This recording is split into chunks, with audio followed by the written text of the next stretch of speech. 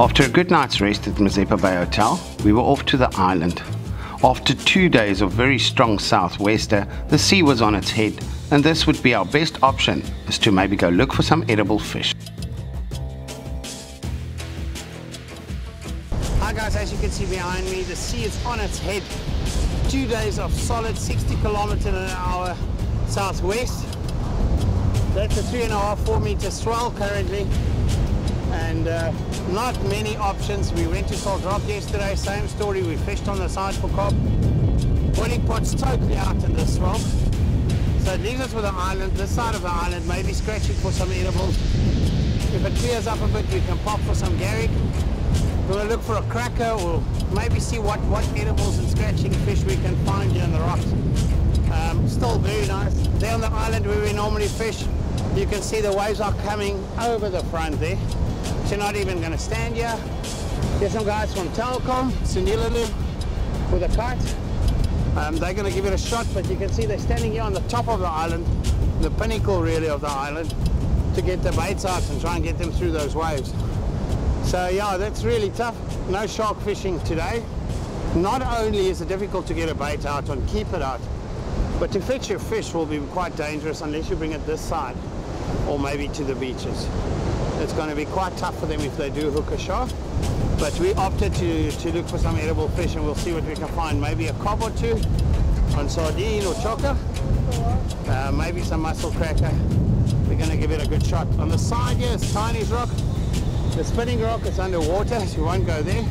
And then the Gilbert's rock in the beginning there, I'm not really interested in fishing. And then the rock next to Tiny's could be an option, but Tiny's is currently looking the best sometimes just a lot of lines there. The guys do all the drop shot fishing there. And uh, they break off the drop shot, obviously gets stuck quite a bit here off the rock. And uh, sometimes the lines can bug you, but we'll see what we can get right and see if we can get some fish. And keep an eye on these guys with the kite. Could be interesting and quite amusing.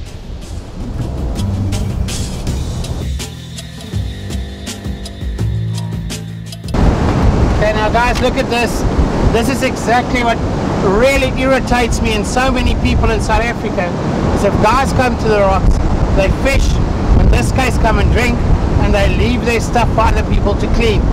Um, I think it's a, the audacity to think people have to clean after you is just ridiculous.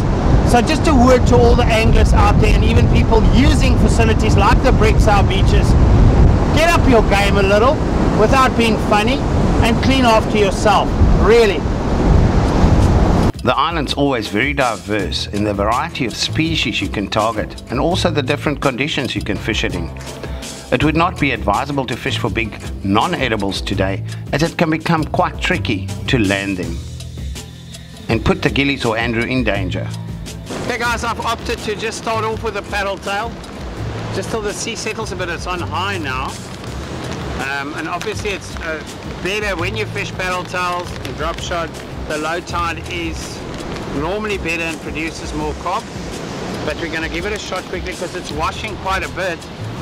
Um, and we'll start with some some bait fishing just now. But first I'm throwing one of the Pro Rex, the new Daiwa Pro Rex plastics. And uh, I've adapted to a darker color purely because the water is slightly off color your dark works better the vibration is ultimately what the fish follows and hits so I'm just going to measure it where the hook comes out, keep a little mark and then push it from the front. Try and get it as straight as possible obviously. Helps, helps it swimming better as we do in bass. And this is the Daiwa jig heads, uh, well the Kingfisher jig heads. Fits nicely on. There you are. That tail just does everything, that's why the cob hits us. And with that, I'm fishing the Daiwa BG, the new rods. This is the 10 foot 6 um, heavy spin, and then you get an extra heavy spin. You also get the 11 foot 6 and a heavy spin and an extra heavy spin. Um, I matched that with the Saltist 4000. Also the BG 4000 will be perfect for this outfit. On that I've got 20 pound uh, Daiwa J-braid and I'm using a Siglent fluorocarbon. I'm using the 0.66 here by the rocks. The water is dirty. I normally use 0.55, but the 0.66 will be 100%. But always keep in mind you might be hooking one of those bigger crab and that will just assist in landing it. I opted to start with some paddle tails, looking for a lost cob after the night in the rough water.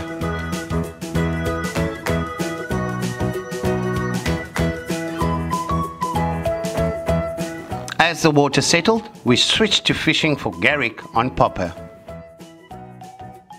There wasn't any chases or action on the Garrick for at least the first hour and a half.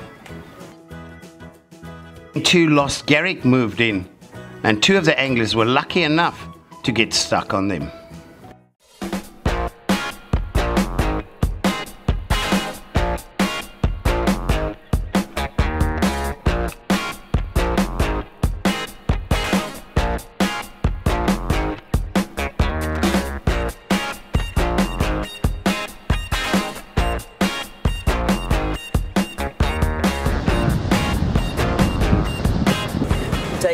Garrick in the in the side. We've been fishing all morning with spoon, uh, with popper, trying everything. This is going on to the last popper, yellow one. It's caught right in the end on a good, good pull. Uh, been brilliant here at Mazeppa Bay, out here on the rocks. Great people, great friends to help pulling the fish in. Uh, my first Garrick in quite a long time, I must say. So, so excited, absolutely brilliant. Uh, working on 30 pound uh, braid and lead also 30 on the tied in. Been a great fight. Yeah, about 20 minutes. Uh, good pull out there. Been raining all morning. Got wet, got dry, got wet again. But if you hang in out there, you're going to catch fish.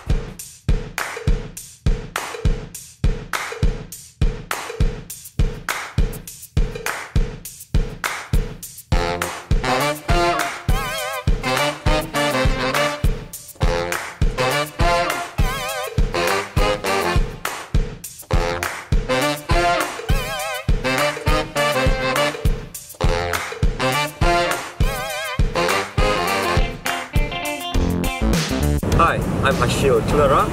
I just bought this beautiful Garrick at Mazeppa Bay off the island. Well done to Mark and Ashil. After a hard morning's fishing, it paid off. Two good sized Garrick on Popper. I switched over to bait fishing just in front of Tiny's, looking maybe for one of those mussel cracker that's been around. This rough water is their home.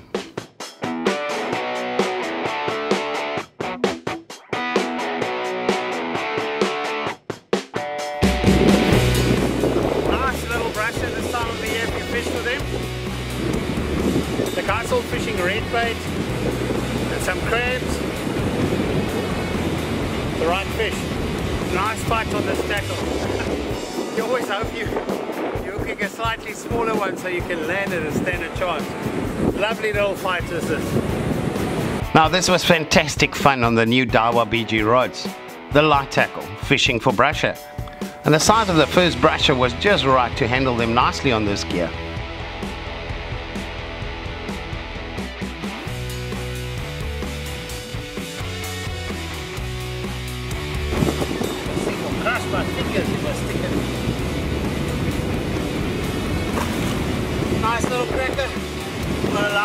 Up. Using a pool of water is advisable to sometimes revive the fish before releasing it. The brusher are real powerhouse fighters and you have to hold them as hard as what you can not to get cut off on the rocks. They will head straight for the rocks to cut you off.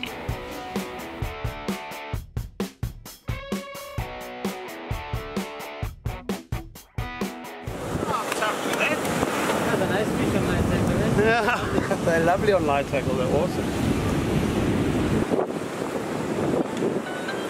That was uh, on the BG 11 foot 6. The heavy spin, you get an extra heavy spin as well.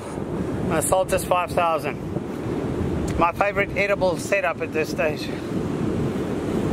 That was earlier. So I kept some in the pool.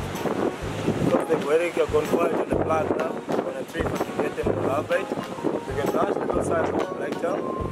I'm just gonna put two hooks. Just maybe see if I can able to throw and get him in a distance. See if we can catch the big one.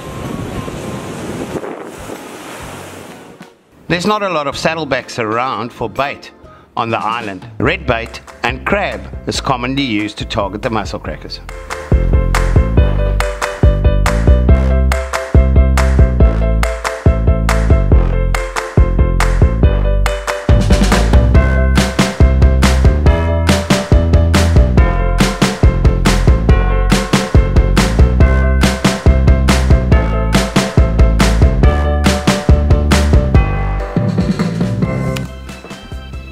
The next one was a much better size and quite the challenge on this gear. The Daiwa BG rod handled very well and I managed to not let him take a meter of line.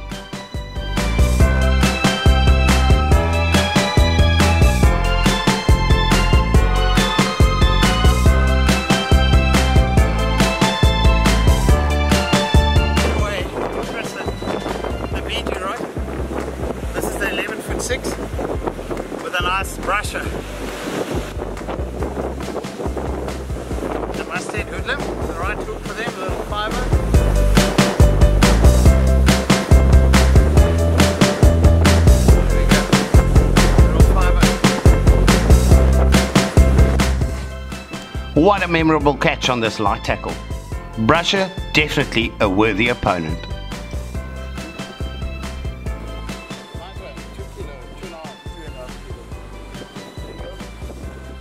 It shows you the diversity of fish around even in some bad seas. The popular species around is normally Galjoen, bronze bream, brusher, cob and the garrick. Alright guys, good start for the trip. Um, a nice little cob. I reckon about two and a half, three kilos. Oy, and then I'm hooking our cameraman. Uh, on drop shot on the new ProRex, Daiwa ProRex. It was my third or fourth cast, Andrew. Yes, yes. And a nice little size cob we got on the drop shot. I'm gonna look for a pool so I can we can film it in the light and show you guys the beautiful colors. And the short period of time we were there, we managed to see all these species.